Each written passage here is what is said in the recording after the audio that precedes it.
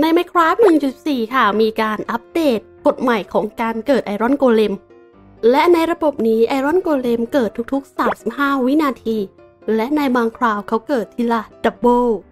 นั่นหมายความว่า max สูงสุดของ Iron Golem ที่เป็นไปได้คือ 16 ตัวในเวลา 5 นาที ซึ่งมันเยอะกว่า Minecraft เวอร์ชั่นก่อนหน้านี้มาก ใน Minecraft ก่อนหน้านี้ค่ะ ประมาณ 5 นาทีต่อหนึ่งตัว แต่ใน Minecraft 1.4 ค่ะ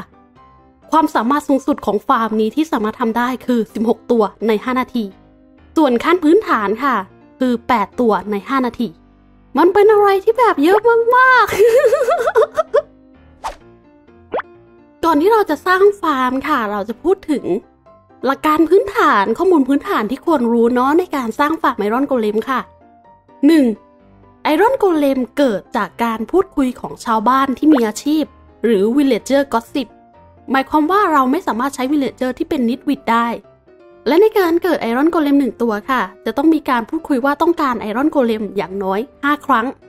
Iron Golem จะเกิดในพื้นที่ 16 คูณ 6 คูณ 16 ตรงกลางของชาวบ้านที่มีการพูดคุยเรื่องของ Iron Golem ชาวบ้านที่กลัวม็อบไม่เป็นมิตรค่ะ อย่างเช่นซอมบี้ จะเพิ่มโอกาสในการเกิด Iron Golem ชาวบ้านจะต้องนอนและทำงาน ถ้าไม่นอนไม่ทำงานค่ะ ก็จะไม่มี Iron Golem เกิดนั่นเอง ควรสร้างให้สูงค่ะ เพื่อที่แมวจะได้ไม่เกิด ถ้าแมวเกิดมาแทน Iron Golem ก็จะไม่เกิดนั่นเอง Iron Golem มีความสูงอยู่ที่ 2.7 บล็อกค่ะ นี่คือข้อมูลพื้นฐานอย่างง่ายค่ะสวัสดีค่ะคุณผู้ชมกลับมาพบกันอีกครั้งหนึ่งกับ MT มือ Minecraft ค่ะ วันนี้เราอยู่กันใน Minecraft เวอร์ชัน1.14.4 ค่ะ เรามาทดสอบฟาร์มเหล็กกันนั่นเอง ฟาร์มเหล็กในรูปแบบนี้ค่ะ ดีกว่าในฟาร์มเหล็กเวอร์ชันก่อน 1.14 ถึง 8 เท่า ซึ่งมันสามารถ max สูงสุดค่ะได้ 16 เท่าเลย นั่นหมายความว่ามันเป็นฟาร์มเหล็กที่ดีมาก ดีกว่าแบบเดิมเยอะค่ะ แบบเดิมอะทุกๆ 5 นาทีอะ Iron Golem จะเกิด 1 ตัวใช่ไหมแต่ในรูปแบบนี้ค่ะ Iron Golem จะเกิดตั้งแต่ 8 ถึง 16 ตัว นั่นหมายความว่าในเวลา 5 นาทีค่ะ มีโอกาสที่ไอรอนโกเลมจะเกิดได้สูงสุดคือ 16 ตัวเลยนั่นเอง โอ้โห ดีกว่าเดิมถึง 16 เท่า อย่ารอช้าค่ะ นี่คือรูปแบบนี้ง่ายมาก ไม่ใช้ระบบไม่ใช้วงจรค่ะ ก็ให้ดูภาพอย่างเท่าก่อนเนาะก่อนที่เราจะไปแบบสอนสร้างอะไรอย่างนี้ค่ะ ก็ง่ายมากๆเลย กด F3B ค่ะ เพื่อโชว์ hitbox สิ่งที่เราจะเห็นค่ะก็คือตรงนี้จะสังเกตว่าระยะการมองของเจ้าซอมบี้นี้ค่ะ มันจะผลุบๆโผล่ๆใช่ไหมนั่นหมายความว่าเมื่อเป็นตอนคืนค่ะวิลเลจเจอร์จะไม่ได้รับรู้ถึงซอมบี้ตลอดเวลา เขาจะแบบนอนตื่นนอนตื่นนอนตื่นแบบนี้ค่ะนั่นหมายความว่าก็เข้ากฎเนาะที่กำหนดไว้ว่าวิลเลจเจอร์ค่ะ จะต้องทำงานและนอนนั่นเอง ดังนั้นเมื่อวิลเลจเจอร์ไม่สามารถมองเห็นซอมบี้ได้ตลอดเวลาค่ะ เขาจะมองเห็นแบบเป็นกระพริบกระพริบเนี่ย ในตอนกลางวันเขาก็สามารถที่จะทำงานได้ ในตอนคืนเขาก็สามารถที่จะนอนได้ค่ะ มันก็เป็นข้อกำหนดหนึ่งในการเกิด Iron Golem นั่นเอง แล้วด้วยจำนวนวิลเลจเจอร์ที่เรามีตรงนี้ค่ะทำให้ฟาร์มนี้มีโอกาสเกิด Iron Golem แบบ 2 ตัวใน 1 ครั้งได้ ถ้าเขาพูดคุยกันแบบ 10 รอบเนาะ5รอบต่อการเกิด Iron Golem 1ตัวค่ะ ถ้าคุยกัน 10 รอบ ก็ Iron Golem จะเกิด 2 ตัวนั่นเองอ่าฮ่านี่ มาเรื่อยๆค่ะ ระบบนี้รับประกันว่าไอรอนโกเลมเกิดทุก ๆ 35 วินาทีค่ะ ปกติมันก็ประมาณ 28 วินาทีเขาก็เกิดแล้วโอ้ง่ายไม่ต้องใช้ระบบไม่ต้องใช้วงจรค่ะ สังเกตระยะสายตาของซอมบี้เนาะอย่าหันไปหันมาสิตัวเองอะ จะเห็นค่ะว่าเส้นสีฟ้าเนี่ยเด้งดึงดึงดึงดึงเนาะลงไปค่ะ มันจะมีช่วงหนึ่งที่มันแบบเด้งมาแบบอยู่ในstone slab และอีกช่วงหนึ่งค่ะเด้งขึ้นไป เนี่ยแหละคือสิ่งที่ทำให้ระบบฟาร์มนี้ค่ะ ดีมากๆ ไม่ต้องวางระบบไม่ต้องวางวงจรถ้าเช่นนั้นค่ะ เราไปสร้างกันเลยค่ะ ในการสร้างฟาร์มเหล็กค่ะ ขั้นแรกคือต่อบล็อกขึ้นไปให้สูงค่ะ ก็ยิ่งสูงเท่าไหร่ยิ่งดีค่ะ จะได้แบบป้องกันไม่ให้วิลเลจเจอร์มองเห็นพวก monster ตัวอื่นเนาะแล้วก็จะป้องกันไม่ให้แมวเกิดนั่นเองค่ะ ถ้าแมวเกิดไอรอนโกเลมก็จะไม่เกิดนั่นเอง เราจะเอาที่ความสูงประมาณ 140 125 130 อะ 130 แล้วกันค่ะ โดยประมาณเนาะ นี่คือ 131 อะ ประมาณ 130ถึง140 ค่ะ เอาสูงไว้ก่อนยิ่งดี เมื่อได้เป็นอย่างนี้แล้วค่ะ ให้เราต่อบล็อกออกไปทางขวา 5บล็อก 1 2 3 4 5 ค่ะ 1 2 3 4 5หนึ่งสองสามสี่ห้าห้าบล็อกในทุกทิศเนาะหนึ่งสองสามสี่ห้าจากนั้นก็วางพื้นที่ค่ะให้เต็มบริเวณนี้ จากนั้นในบริเวณขอบค่ะ ให้เราวางเป็น fence gate คือเราไม่สามารถวางบล็อกอะไรในนี้ได้ค่ะ ถ้าเราวางบล็อกไปเดี๋ยว Iron Golem จะเกิดมาเนาะแล้วไม่ยอมเข้าสู่ระบบน้ำค่ะ ดังนั้นเราก็จะวางเป็น fence gate ค่ะ อุ๊ยอุ๊ยร่วงร่วงอะแล้วก็นี่ค่ะมาเลย บินได้นี่นาอะเรียบร้อยค่ะ ตรงมุมไม่ต้องวางก็ได้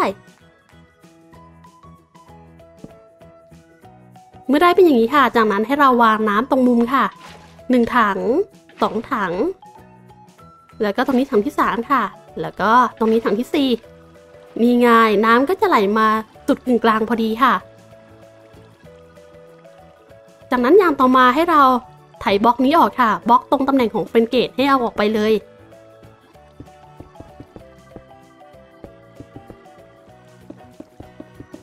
ในทุกทิศทั้งซ้ายขวาหน้าหลัง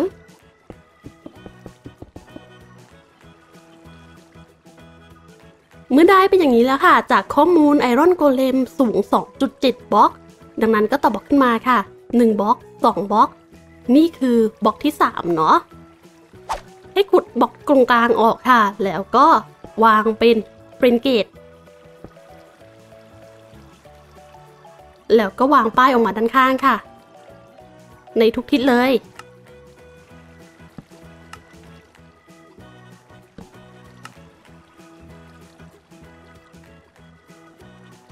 มื่อได้เป็นอย่างนี้ค่ะ แล้วให้เราวางป้ายต่อขึ้นมาอีกหนึ่งชั้น เดี๋ยวยืนบน fence gate ก็ได้เนาะ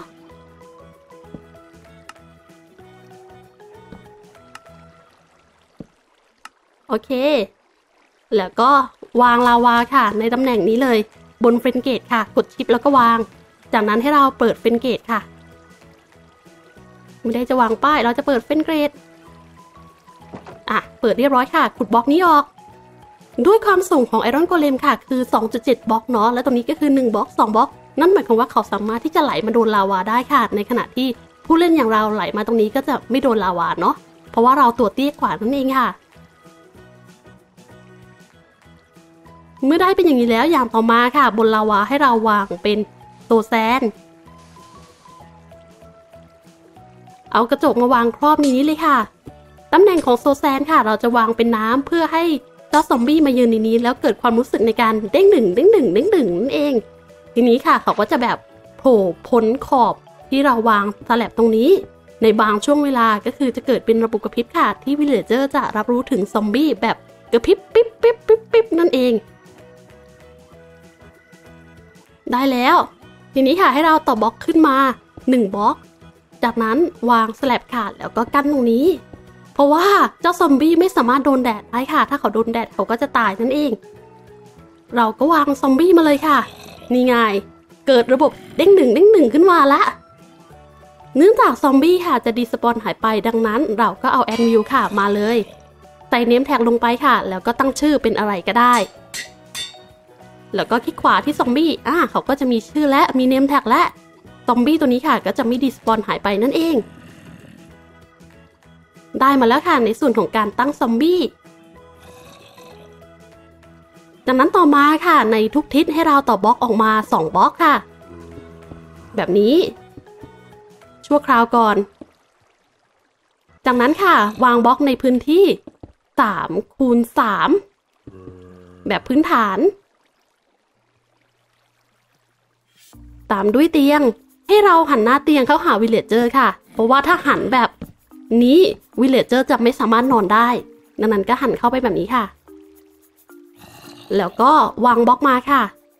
ปิดขอบ ยกขึ้นสูงสองบล็อก แล้วก็ปิดขอบค่ะ ในการวางบล็อกงานของ villager เพื่อให้ villager ได้ทำงานเนาะ ถ้าเขาไม่ทำงานไม่นอนอะไรอย่างนี้ค่ะ Iron Golem ก็จะไม่เกิดเราเลือกใช้เป็น loom ค่ะ เพราะว่าใน Minecraft เอาชีวิตรอดของมิวเบิร์นี่ค่ะ เรามี string เยอะเราก็อยากจะ ผลาญ string นิดนึงก็เลยเลือกใช้เป็น loom ในการทดสอบค่ะ เผื่อว่าในกรณีที่เราเอาไปสร้างจริงใน Minecraft เอาชีวิตรอดเนี้ยเราก็จะได้ใช้เป็น loom ให้เสร็จเลยนั่นเอง แล้วก็วางกระจกปิดค่ะ นี่คือเรียบร้อยค่ะในมุมที่หนึ่งต่อมาในมุมอื่นๆค่ะ ก็วางพื้นที่เป็น3คูณ3เช่นเดียวกัน แล้วก็ตามด้วยเตียงค่ะ 3 ตัว แล้วก็วางบล็อกเป็นที่ยืนของวิลเลจเจอร์โค้งเป็นซุ้มประตูมาเลย สูง2บล็อกค่ะ แล้วก็วางหลังคาในบล็อกที่3จากนั้นก็เข้ามาในนี้ค่ะ แล้วก็วาง loom วางปิดให้เรียบร้อยขุดบล็อกออก นี่ค่ะ อะก็เรียบร้อย ทีนี้ค่ะในมุมที่3ที่4ก็ทำเช่นเดียวกับมุมที่1ที่2เลยค่ะ เมื่อวางเสร็จเรียบร้อยค่ะ จากนั้นให้เราเอา slab ค่ะ ปิดตรงนี้ก่อน เพื่อไม่ให้เจ้าวิลเลจเจอร์ค่ะมองเห็นซอมบี้แล้วเราก็ summon villager มา1 2 3เมื่ออยู่ใกล้ชิด loom ค่ะเห็นว่าเสื้อเขาเปลี่ยนไปนั่นหมายความว่าเขามองเห็นบล็อกงานค่ะ แล้วสามารถทำงานได้นั่นเอง ก็จะเป็นอันใช้ได้ค่ะ ทีนี้เพื่อป้องกันไม่ให้ villager มองเห็น monster ตัวอื่นค่ะ ก็ปิดขอบนี้เลยอะแล้วก็มุมนี้ค่ะ ปิดให้เรียบร้อย เราจะได้แบบไม่มองเห็น monster ตัวอื่นเนาะแน่นอนค่ะสูงขนาดนี้มองเห็น monster ไม่ได้อยู่ละ ก็จะมีแค่เจ้าซอมบี้ที่อยู่ตรงกลางนี้ค่ะ ที่เจ้าวิลเลจเจอร์เนี่ยสามารถมองเห็นได้ โอเคค่ะเช้าแล้ววิลเลจเจอร์ตื่นขึ้นมาแล้วเนาะทีนี้สิ่งที่เราต้องทำค่ะ เอากระจกนี้ออกเลยก็ได้ ตอนแรกเอาออกตั้งแต่ตอนคืนก็ไม่มีปัญหาอะไรค่ะ เมื่อเราเอากระจกเสร็จเรียบร้อย ตรงนี้ค่ะ ก็ขุดลงไป2บล็อกแล้วเราก็มาวางกล่องค่ะ แล้วก็ตามด้วย hopper เอาไว้เก็บเหล็กเนาะ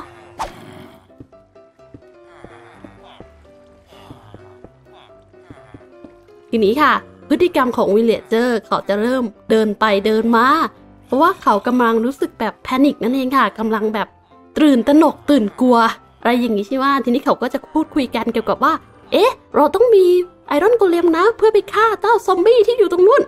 นั่นแหละค่ะ เมื่อการคุยกันเกี่ยวกับ Iron Golem ครบ5ครั้ง Iron Golem ก็จะ spawn เกิดมาค่ะ แน่นอนว่า Iron Golem ตัวแรกจะใช้เวลานานนิดหนึ่งค่ะในการเกิด แต่เมื่อตัวแรกเกิดมาเมื่อไหร่ค่ะ ตัวที่ 2 3 4 5 จะมาเป็นแบบขบวนเลยค่ะ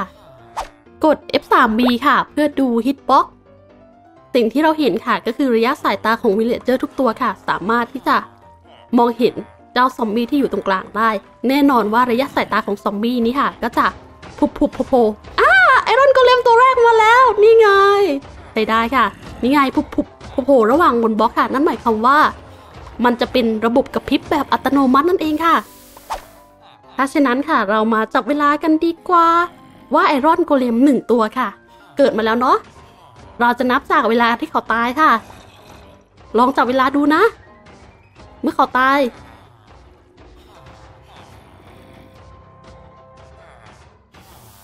จับเวลาค่ะ เราจะดูว่า Iron Golem ตัวต่อมาที่จะเกิดนี้ค่ะ จะเกิดภายในเวลากี่วินาที เราไม่ได้พูดถึงเวลาเป็นนาทีค่ะ เราพูดถึงในระดับวินาที เป็นฟาร์มที่ดีมากพูดง่ายๆเหล็กกระจายค่ะแบบเนี้ยเหล็กเฟ้อเหล็กกระจายแน่นอน ยิ่งถ้าเราทำหลาย ๆ ฟาร์มค่ะ บอกเลยว่าเหล็กที่เราได้มานี่ค่ะ มันจะยิ่งเฟ้อมากๆ อันนี้คือฟาร์มแบบขั้นพื้นฐานค่ะ ตอนนี้ 26 วินาทีค่ะ Iron Golem เกิดมาแล้วอ๋อมีสิ่งหนึ่งที่เราพลาดไปค่ะ คุณผู้ชมต้องขออภัยก็คือประตูนี้ค่ะเราต้องเปิดด้วย ถ้าเราไม่เปิดค่ะ Iron Golem อาจจะค้างได้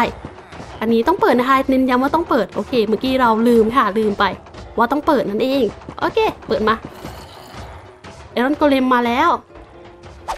โอเคค่ะ มี Iron Golem มาอีกหนึ่งตัวแล้ว เดี๋ยวเรามาลองนับใหม่ดูเนาะ เมื่อเราเปิดเป็น gate เรียบร้อยค่ะ เมื่อ Iron Golem ตายเราจะใช้เวลาในการเกิดตัวต่อไปกี่วินาทีเอ่ย มาเลย